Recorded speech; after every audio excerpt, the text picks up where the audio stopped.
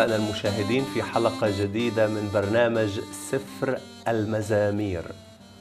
وكما تعودنا في كل حلقة جديدة معنا خادم الرب الأخ المحبوب نبيل شاكر. أهلا يا أخ نبيل.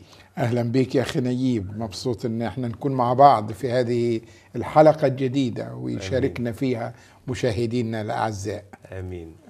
آه سنقرأ من المزمور الخامس ابتداء من العدد سبعة.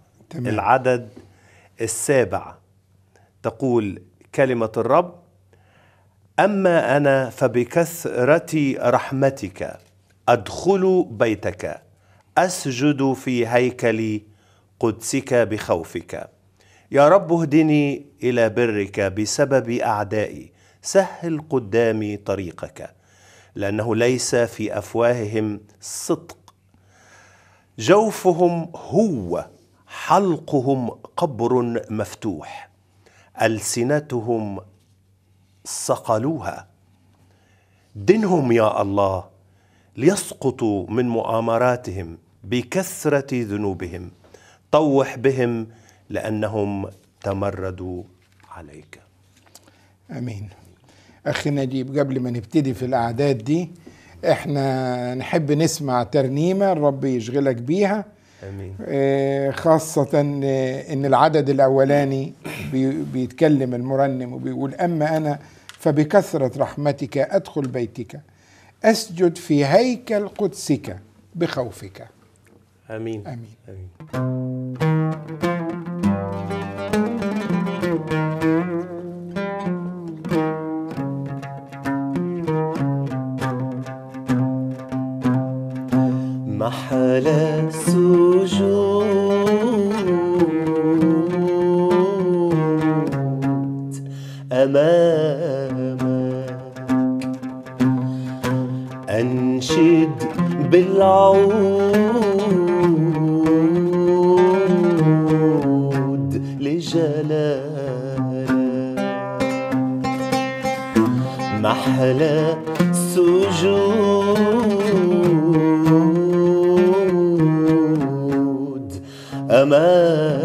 أمامك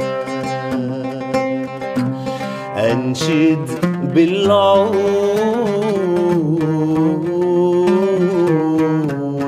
لجلالك.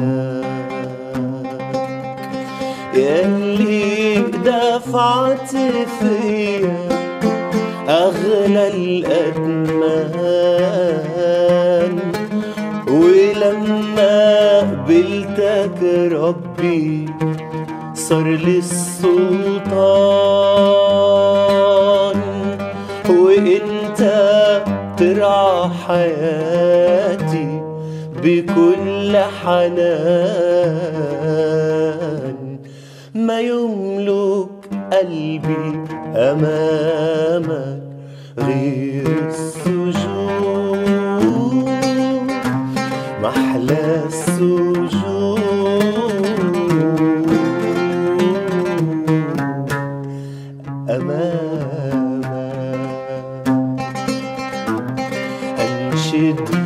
بالعود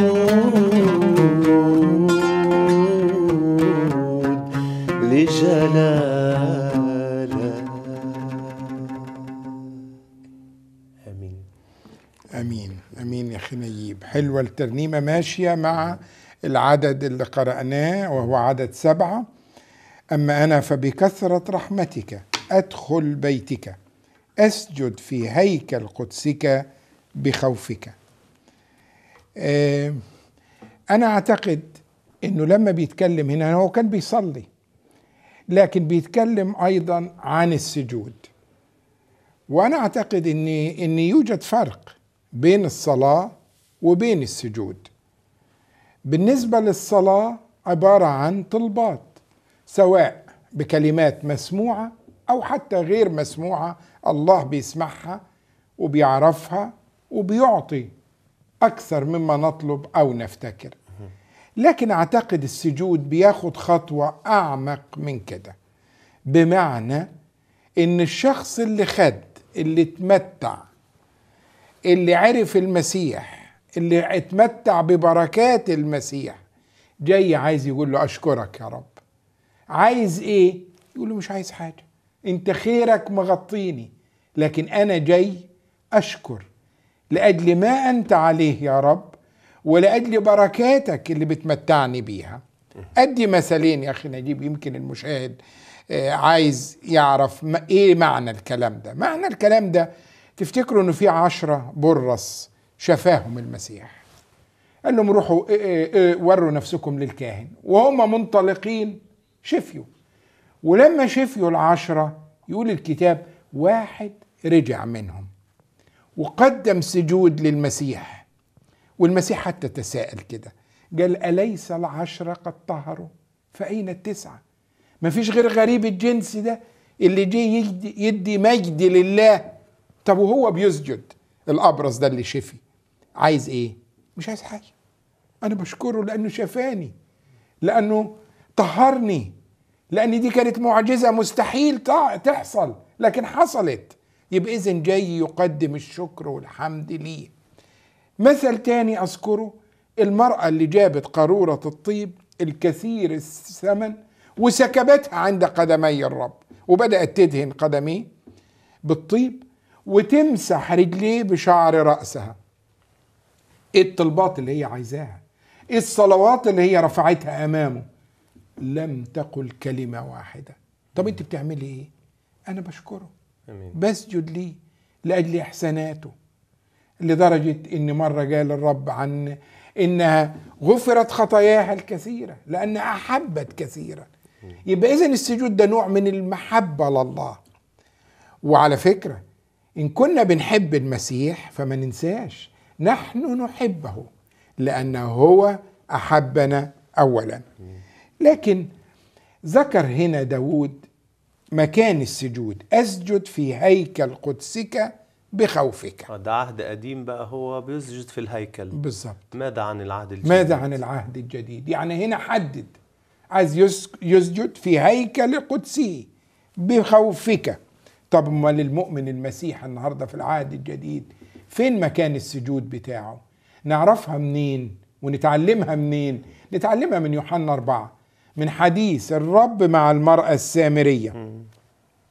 هي بتسأله سؤال وكان حلو جدا. أباؤنا سجدوا في هذا الجبل. يعني من عدد عشرين. بالظبط وأنتم أي أنتم اليهود تقولون في أورشليم الموضع الذي ينبغي أن نسجد فيه.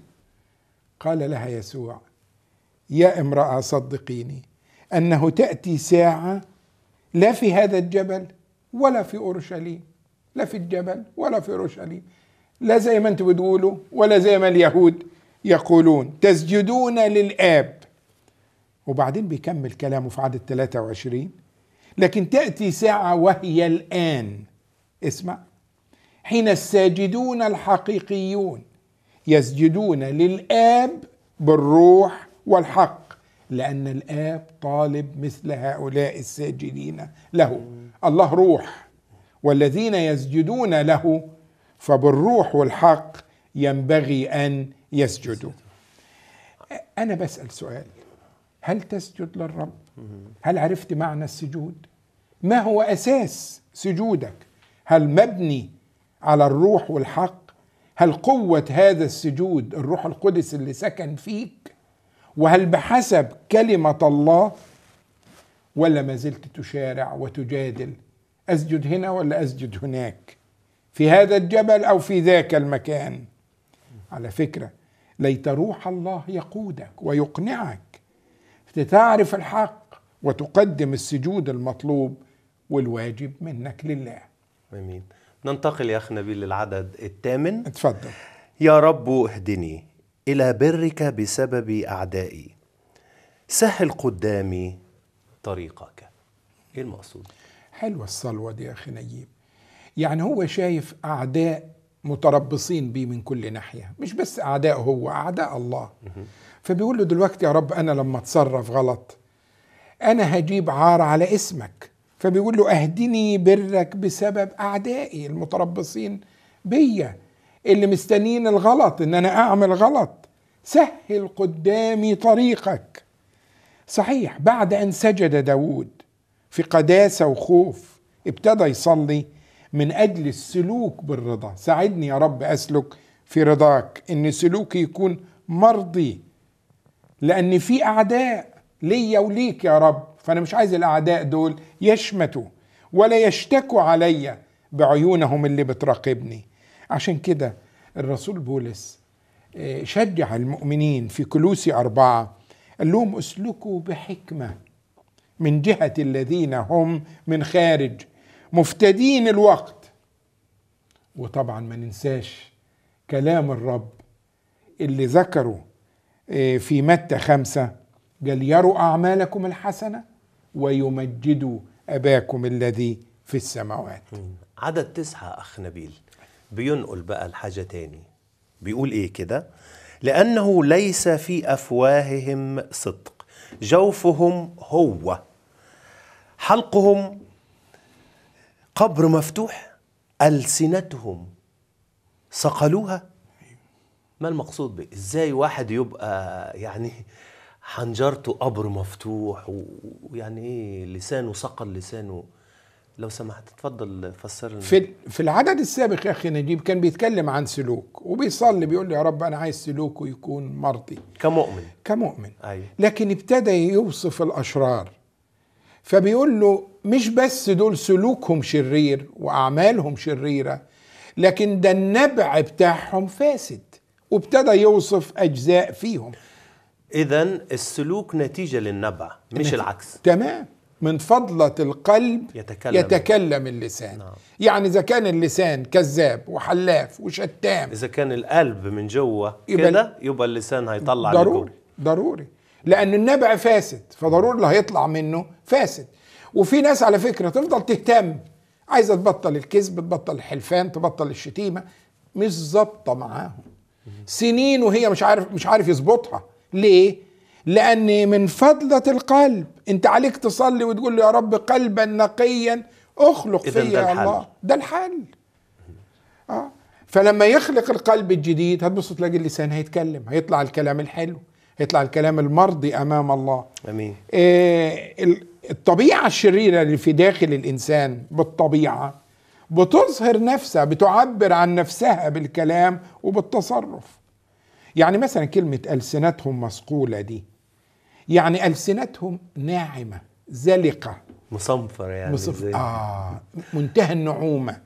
يعني يتكلموا بكلام مختفي لكن وراء هذا الكلام تدابير الهلاك والموت.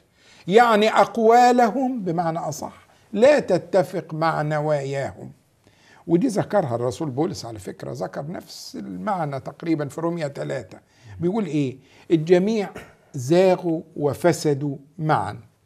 ليس من يعمل صلاح ليس ولا واحد ولا واحد من بني البشر. فيش واحد. وبيوصف حنجرتهم قبر مفتوح. يعني في العهد الجديد نفس الوصف. استعمل نفس الوصف. وبيذكر الأعضاء بتاعت الجسم حنجرتهم قبر مفتوح.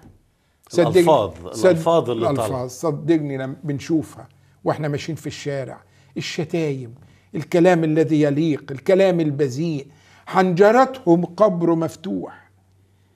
آه، سم الأصلال تحت شفاهم. قبلها يقول بألسنتهم قد بكروا. سم الأصلال تحت شفاهم وفمهم مملوء لعنة ومرارة. أرجلهم سريعة إلى سفك الدماء. في طريقهم اغتصاب وسحق وطريق السلام لم يعرفوه. ويحط إيده على السبب. ليس خوف الله قدام عيونهم لأن بعدوا الله عنهم. ومفيش خوف الله أمامهم. في القلب فالنتيجة كل الليستة كل الليستة دي ظهرت منهم من ألسنتهم ومن هذه الأمور. أصل الج- جذور الخطية عميقة. فاللسان والفم والحنجرة واليدين يسيطر عليهم القلب في الداخل. وإن ما تغيرش القلب ده بنعمة الله وبدم المسيح عن طريق الإيمان مش بتكلم عن الإيمان العقلي المعرفة العقلية لكن إيمان يوصل للقلب ويغير الحياة. أصل مكتوب كده الآية المهمة في كورنثوس الثانية خمسة. بيقول إن كان أحد في المسيح فهو خليقه جديدة. الأشياء العتيقة قد مضت هو ذا الكل قد صار جديدا. ودايما ربنا يبتدي بالشيء المهم. عشان كده قال له يا ابني أعطني قلبك. وبعدين؟ ولتلاحظ عيناك طرقي. لكن لو تديني قلبك. ولما تديني قلبك وأغيره وأمتلك القلب وزمام الأمور تتغير هذه المظاهر في حياتك. أخ نبيل يمكن حد بيشاهدنا دلوقتي من أحبائنا المشاهدين وبيشعر بتبكيت لضميره لأن هذه الصفات اللي كلمة الرب بتذكرها آه، بتنطبق عليه. آه، يعني تحب تقول إيه للمشاهدين؟ أحب أقول ما قاله الرب وما دونته كلمة الله. وعرفنا دلوقتي إن السلوك ده نابع من القلب. يبقى اذا أنا بدل ما اعالج المظاهر لا أنا أوصل للسبب وأطلب من الله يديني معونة ونعمة. ده في شيء كان بيجي في التلفزيون كنت بشوف يقول لك آه إذا حسيت بصداع كان اسبرين لكن لو الصداع ده استمر جاي نصير دكتور. لحسن يكون سبب الصداع ده مصيبة مشكله في الجسم. عشان كده بتصدع باستمرار. فنفس الكلام برضه يعني انت بتتضايق من الكذب. ربما مشاهد متضايق من الحلفان متضايق من ال- الحاجات اللي بتطلع منه عفوا ومش عارف يعمل control عليها. طب يعمل control إزاي؟ تعمل control أو تعرف تمسك بهذه الأمور. تيجي للرب وتقول له يا رب أنا بعترف أمامك. كذاب حلاف شتام. أموري لا تليق. حياتي ملخبطة يا رب. وعرفت إن السبب هو في القلب. عشان كده جاي وبقول لك يا رب هذه الأمور اللي هي صعبة بالنسبة ليا أنت تستطيع أن تغيرني وتديني نعمة خاصة عشان أعيش الحياة المرضية أمامك. هل هذا يعني الأمر أنت يعني تقدر تقول أنه اسمه الولادة الجديدة في كلمة الله؟ هل نقدر نسميه كده؟ تمام. تمام. إنسان اتولد من اتولد من جديد. آه. لأن لابد أن يولد الإنسان ولادة روحية جديدة. ولادة روحية هو في ولادة جسدية. أيوة. أما إيه إزاي؟ كلنا اتولدنا من أمهاتنا ولادة جسدية طبيعية. لكن في يوحنا ثلاثة شرح الكلام ده الرب يسوع له المجد لنيقوديموس قال له المولود من جسد جسد هو. لا يستطيع أن يعمل غير اللي تطلعه الطبيعة الفاسدة. لكن المولود من الروح هو روح. يبقى اذا عليه أن يولد من الروح.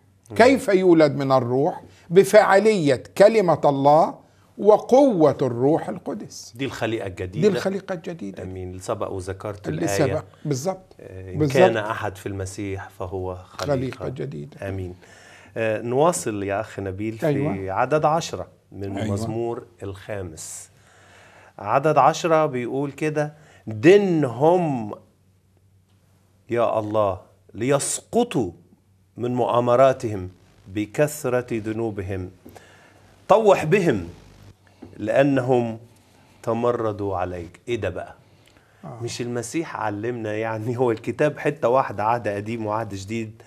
يعني بيقول كده أحبوا أعداءكم باركوا ولا تنتقموا لأنفسكم. ده هنا بيقول دينهم. إيه إيه أنا أعتقد إن ال إن ال اللي اللي بيدرس كلمة الله واللي بيقرا كلمة الله عليه إن هو يفتكر إن المزامير دي مكتوبة في منها أجزاء بتشمل روح العهد القديم اللي هي روح النقمة من الأعداء والانتقام من الأشرار. ودي بتمشي مع لغة الناموس.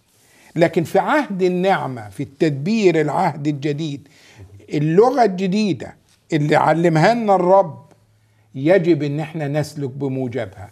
وأدي مثل على كده. الرب في شد ألامه على الصليب. طلب هذه الطلبة لأعدائه للي ضربوه للي أهانوه للي سببوا آلام شديدة ليه. قال يا أبتاه أول كلمة على الصليب يا أبتاه اغفر لهم. لأنهم لا يدرون ما يفعلون. مش بس الرب يسوع لكن جه بعديه استفانوس في أعمال سبعة. وصلى. كانوا بيرجموه بالحجارة والحجارة نازلة عليه. طب ما تقول من مزمور خمسة دينهم وانتقم منهم يا رب وريني يوم فيهم. لا لا لا مش. تعلم الدرس من تعلم سيده الدرس من سيده يقول له إيه؟ يا رب لا تقم لهم هذه الخطية. وإذ قال وإذ قال هذا رقد. رقد. يا سلام. إحنا عهد النعمة وتعاليم ربنا يسوع خدتنا لمستوى أرقى وبتدينا قدرة عظيمة. يمكن واحد يقول دي كلام صعب إن الواحد عشان ينفذه إن إحنا نصلي من أجل اللي يسيء إلينا وما نطلبش النقمة. صح كلام صعب. بحسب القوة الطبيعية البشرية. لكن أما الله بيدي طبيعة جديدة للإنسان ده. يستطيع بقوة الله أن يتمم وصايا الله. يعني مثلا في رومية 12 بيطلب مننا الآتي. إن جاع عدوك فاطعمه. وإن عطش فاسقه. فاسقه. لأنك إن فعلت هذا تجمع جمر نار على رأسه. لا يغلبنك الشر بل اغلب الشر بالخير. وعلى فكرة أحد الأحباء قال كده إن لما أقابل الإحسان بالإساءة ده عمل شيطاني. ولو قابلت الإحسان بالإحسان ده عمل بشري ممكن أي واحد يعمله. هو كويس معايا وأنا كويس معاه. لكن مقابلة الإساءة بالإحسان ده عمل إلهي. يبقى إذا الإنسان علشان يقوم بهذا العمل ويصلي للي بيسيء إليه ويغفر لعدوه وما ما ينتقمش لنفسه. ده عمل إلهي. الله ليعمل فيه هذا العمل ويديله هذه القدرة. عايز أذكر حادثة بس يا أخي نجيب. بولس وسيلة لما كانوا في السجن في أعمال 16 ولما الرب عمل معجزة وفك القيود وفتح أبواب السجن صحي صاحب اللي حافظ السجن ده كان عايز يقتل نفسه. وأنا متهيألي لو بولس وسيلة مش المؤمنين اللي بيعرفوا الرب كان قال سيبه يموت نفسه وخلاص. لكن قال له لا تفعل بنفسك شيئا رديا. كلنا ها هنا. الوقت أدركنا يا أخ نبيل. وإحنا سعداء خالص بالتأملات الحلوة. وصلنا للعدد العاشر من المزمور الخامس. أحبائنا المشاهدين لا تفعل بنفسك شيئا رديا. لكن تحب في دقيقة يا أخ نبيل. إحنا هنختم الاجتماع.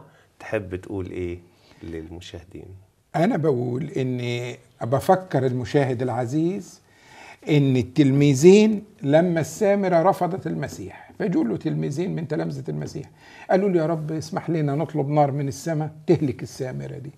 قال لهما لستما تعلمان؟ من أي روح أنتما؟ وأنا بصلي إن الرب يعرفك روح النعمة روح الغفران روح المسامحة.